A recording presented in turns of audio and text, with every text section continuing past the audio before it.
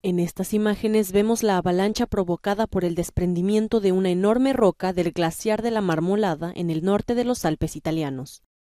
El derrumbe del domingo por la tarde hizo que el hielo, la nieve y las rocas se abatieran sobre los excursionistas de un popular sendero, causando al menos seis muertos y ocho heridos.